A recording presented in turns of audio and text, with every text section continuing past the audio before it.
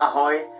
Blíží se čas Vánoc a to je i čas, kdy se na hvězdárnách roztrhne pytel s přednáškama o betlémské hvězdě. S tímto tématem můžeme nyní i na internetu nalézt spoustu článků, videí a filmů od nejrůznějších autorů, ale myslím, že nejčastěji o betlémské hvězdě vypráví doktor Jiří Grigar, tak jak například učinil tuto středu 10.12. v Moravské zemské knihovně v Brně v rámci cyklu Sisyphos v MZK. Výklady jiných autorů a přednášejících se tomu jeho velice často podobají. Přednášky doktora Grigara o Vánoční nebo Betlémské hvězdě vypadají zhruba takto. Zjistíme, že se tímto problémem důkladně zabýval už Johannes Kepler a potom jednu po druhé procházíme spekulace, co asi betlémská hvězda mohla být. Dozvíme se, že to asi nebyla kometa ani výbuch supernovy a dokonce ani ne nějaká nápadná konjunkce, ale že nakonec šlo o jistou zajímavou konstelaci planet. Toto video mělo být po dlouhé době astronomické, ale nakonec moc nebude, protože budu mluvit právě o betlémské hvězdě, která podle mě nemá s astronomií nic společného. Je to jen můj pohled, který nabízím a nikomu nemnucuju, ale rád vám ukážu, proč si to myslím. Nejprve se podívejme, co všechno víme o narození a životě Ježíše Krista. Bylo by dobré mít záznamy některých kronikářů nebo historiků z té doby, těch, kteří nebyli křesťany píšící evangelia, ale kteří v té době pouze zaznamenávali historické události. Bohužel žádné takové záznamy nemáme. První zmínku od nekřesťanských autorů, a to pouze o samotné existenci křesťanů, máme až z konce prvního století.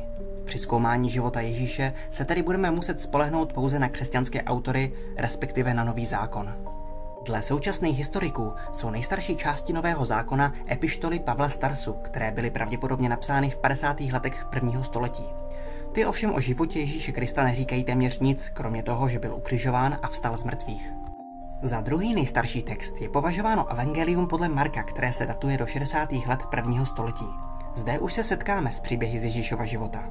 Nedozvíme se sice o jeho narození, za to se dozvíme, že mu doma nikdo nevěřil, protože ho všichni dlouho znali, znali i jeho rodinu a Ježíš si právě stěžuje, že nikdy neznamená prorok tak málo jako doma. Na jeho spektakulární narození v Betlémě si v těchto příbězích nikdo nepamatuje. Se stejným problémem se setkáváme i v Evangeliu podle Jana, kde se lidé diví, jak může být Ježíš Mesiáš, když se narodil v Galileji a ne v Betlémě, jak bylo předpovězeno. Tento problém řeší až Evangelia podle Lukáše a Matouše, které datujeme do 80. let prvního století a ve kterých se Ježíš v Betlémě prostě narodil. A jak říká Matouš, právě proto, aby se splnilo proroctví. To všechno se stalo, aby se splnilo, co řekl hospodin ústy proroka. Hle, pána počne a porodí syna a daj mu jméno Immanuel, to jest přeloženo Bůh s námi. Když se Josef probudil ze spánku, učinil, jak mu přikázal anděl hospodinův a přijal svou manželku k sobě. Ale nežili spolu, dokud neporodila syna a dal mu jméno Ježíš. Dobře. Obě díla obsahují příběhy, které jsou obsaženy ve starším Markově evangeliu, ale tato nová evangelia Marka nezávisle na sobě doplňují vlastním pohledem, komentářem i vlastními příběhy. Ze všech 27 knih Nového zákona jsou to pouze tyto dvě, které popisují Ježíšovo narození. Není to moc, ale pořád lepší dvě než jedna, alespoň mezi sebou můžeme porovnat. Uvádí některé z nich, kdy se Ježíš narodil? Částečně ano, a obě. Podle Matouše se Ježíš narodil za krále Heroda. O něm víme, že vládl do roku 4 před naším letopočtem a tady se Ježíš musel narodit ještě předtím. Podle Lukáše se tak stalo ale ve dnech, kdy vyšlo od císaře Augusta nařízení sečíst všechen lid na světě, v době, kdy Syrii zpravoval Quirinius. Císař Augustus ve skutečnosti nikdy takový rozkaz nevydal, přesto za vlády Quirinia k malému lokálnímu sčítání došlo, a to v roce 6 našeho letopočtu. Dobrá, možná by bylo dobré chytnout se něčeho, na čem se oba autoři shodnou. Jde to ale trochu těžko. Podle Matouše žili Josef s Marií v Betlémě celou dobu a do Nazaretu přišli až dlouho po narození Ježíše, tedy po návratu z Egypta, kam utekli před Herodem. Podle Lukáše ovšem žili v Nazaretu dávno před narozením Ježíše a do Betléma přišli právě jen kvůli sčítání lidu.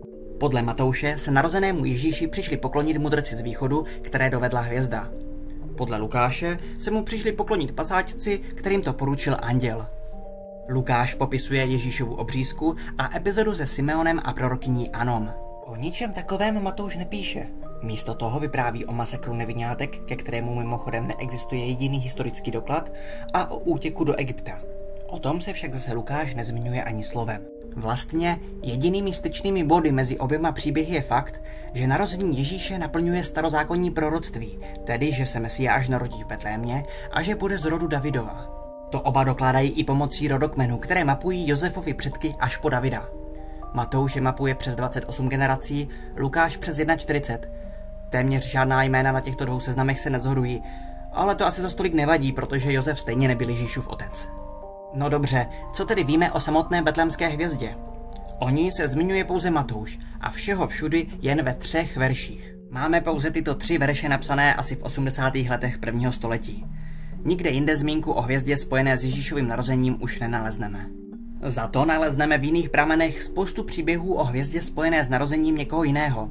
Velice podobný příběh vypráví o narození císaře Augusta v roce 63 před naším letopočtem. Proroctví o hvězdě ve starozákonní knize Numery, které později rozvinuli ještě další proroci a doplnili mudrce přinášející zlato a kadidlo, použil také římsko-židovský historik Josefus ve svém díle Židovská válka, a to na narození císaře Vespasiána. A nezapomínejme, že stejné proroctví o hvězdě naplňuje i Simon Bar Kochba, vůdce druhé židovské války. Bar Kochba znamená přímo v aramejštině syn hvězdy. Zkrátka, Pořád vám připadá smysluplné zkoumat astronomické záznamy a propočty poloh hvězd a planet a přemýšlet, co to bylo za záhadný astronomický objekt nebo konstelaci, která ve zmiňovaném příběhu hle šla před nimi, až se zastavila na místě, kde bylo to dítě.